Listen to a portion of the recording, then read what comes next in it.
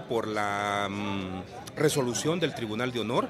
El Tribunal de Honor ha dicho que ha conocido dos casos en particular, de San Pedro Sula y el caso de la alcaldía. El de San Pedro Sula ha dicho que evidentemente ha existido un fraude que es vergonzoso para el partido y en el caso de la candidatura que yo he ostentado, ha dicho de que, eh, como yo he presentado una renuncia previa, no conoció cuáles eran los otros argumentos y la carga probatoria que yo tenía, que le había hecho ante el Tribunal Electoral y ante las autoridades del partido, pero que la comisión auditora perdió una hermosa oportunidad para poder limpiarle la cara al partido a nivel eh, no solo del distrito, sino a nivel nacional, frente a una multitudinaria simpatía que el Partido Libertad y Refundación tiene. Menciona en su parte final también que muy poco puede hacer el Tribunal de Honor, pero que llama a aquellos candidatos que fueron electos bajo estos mecanismos de fraude a que muestren su calidad y muestren su catadura ética como caballeros y como damas para que interpongan una renuncia. Incluso la renuncia, incluso mencionan ellos que el Libre es un partido con vergüenza y que así debe de serlo,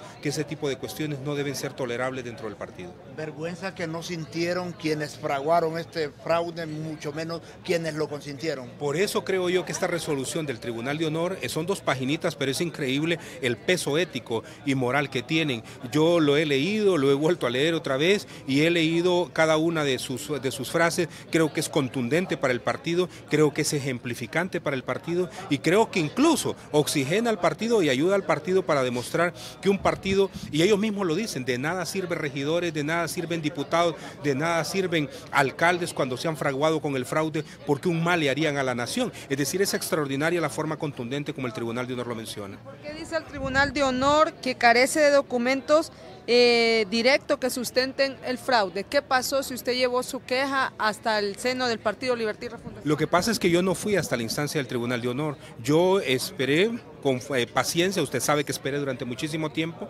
y cuando la propia comisión auditora se negaba a darnos el informe, entonces yo me fui a interponer la denuncia. Por eso no esperé la instancia del Tribunal de Honor y eso es lo que el Tribunal de Honor lamenta. Sin embargo, el Tribunal de Honor, como usted da la lectura, ve que el Tribunal de Honor dice que la comisión auditora perdió una oportunidad, en mi caso, para poder dar una acción ejemplificante. ¿Quién entregó usted toda la documentación que nos mostró en los medios de comunicación que hubo un fraude? Bueno, a tres instancias, a, tanto al Tribunal eh, Electoral, eh, tanto a la Comisión Auditora del partido como a la propia Fiscalía, cuando yo presenté denuncia. Entonces la Comisión Auditora tenía información, pero al parecer el Tribunal de Honor eh, reclama a la Comisión Auditora que no tuvo la contundencia ni la, y que perdió la oportunidad para hacer una investigación más exhaustiva y que su, su información no es suficiente.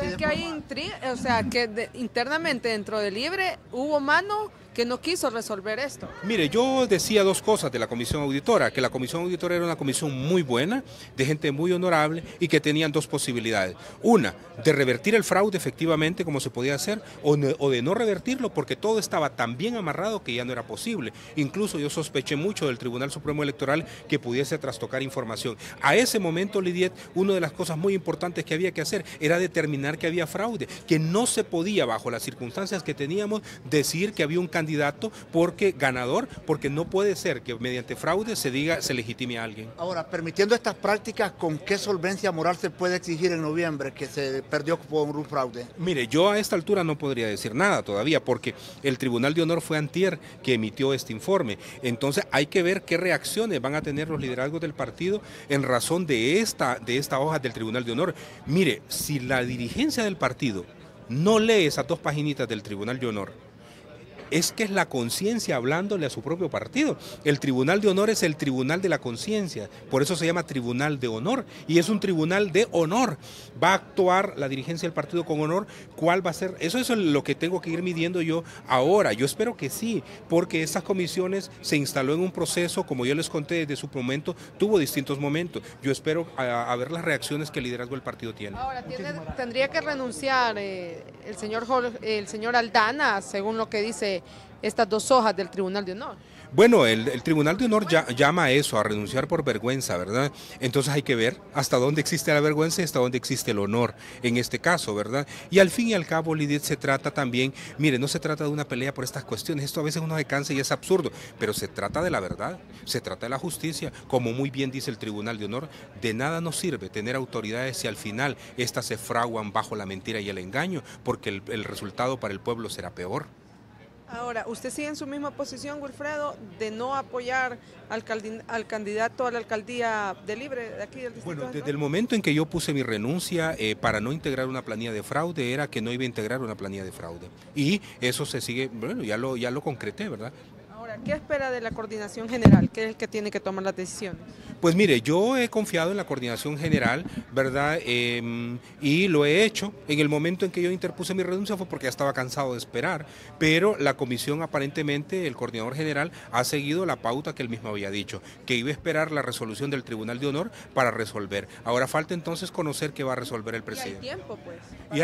claro que hay tiempo para resolver. Eso es lo interesante de todo esto. Yo realmente, a mí me tiene intrigado la actitud del presidente, porque todo se fue dando. Y él me dijo, cuando ya tenga la resolución del Tribunal de Honor, yo voy a resolver. Ahora el presidente me puede reclamar a mí y decir, Wilfredo, pero es que vos te corriste a renunciar. Yo te había dicho que esperaras la resolución del Tribunal de Honor para nosotros resolver. Pues yo no sé qué va a pasar ahora, Lidiet. Lo que sí es cierto es que me siento realmente agradado con la resolución del Tribunal de Honor y pienso que eso le hace honor a la militancia que hace bien las cosas dentro del partido. ¿Y si designan que usted es el candidato de aquí de Libre por la alcaldía, ¿aceptaría? Claro que aceptaría, pero yo veo eso muy difícil, lo veo en, en los cuernos de la luna, como dice la gente, pero en política todo es posible, ¿no? Lo veo difícil porque la gente se enamora de sus eh, designaciones, ¿no? Ya está la designación por parte del Tribunal Supremo Electoral, el grupito que esté alrededor del candidato a la alcaldía puede estarle diciendo muchas cosas al oído, ¿verdad? Eh, las negociaciones que pueda hacer el presidente Zelaya puede ser que no sean lo suficientemente fuertes como para que el otro haga esa acción de renuncia. Existen muchos elementos. El Partido Nacional no le conviene un hombre yo, a un hombre como yo de candidato. Imagínense en un debate público, Nasria Fura eh, conmigo. Entonces, en ese sentido, todo el Partido Nacional también hará lo posible por tratar de buscar alguna forma, como ya lo hizo desde el momento en que se dio el proceso electoral, para evitar que eh, un hombre como yo vaya hacia adelante.